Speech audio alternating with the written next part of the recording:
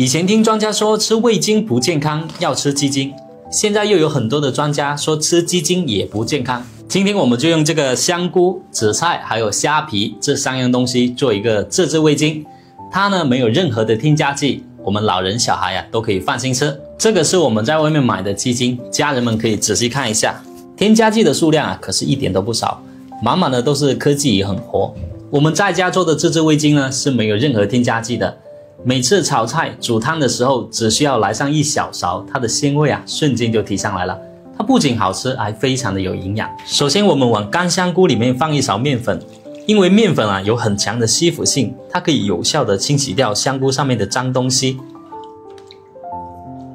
接着，我们再把这个香菇切成细丝，尽量切的细一些。锅里不用放油，放入我们的香菇丝。这个时候，我们用小火慢慢的炒。香菇中含有非常丰富的维生素和矿物质，我们多吃香菇啊，对我们身体好处多多。炒到这样子，轻轻一掰就断的程度就可以盛出来了。接着再倒入一百克的淡干生菜虾皮，虾皮含有非常丰富的钙和蛋白质，能够给人体提供多种的营养。经常给孩子吃啊，也是好处非常的多。用小火炒两分钟后，加入十克的紫菜。我每天都在分享一些实用的美食小技巧，如果视频对您有帮助的话，能否点一个免费的小红心鼓励支持一下？非常感谢。炒到虾皮和紫菜轻轻一捏就碎的状态，就可以关火了。先把炒好的香菇打成粉，接着呢，再把虾皮和紫菜啊一起倒进去，也打成粉。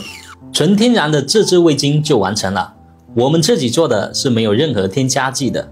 煮面条的时候放上一小勺，再加点葱花，再放点生抽和香油，其他的什么油盐酱醋啊都不需要放了。汤鲜味美，非常的营养。家里面要是有老人小孩的，赶紧收藏起来试试吧。今天这个视频就分享到这。如果视频对您有帮助的话，记得给小林点个赞，留个关注。小红书。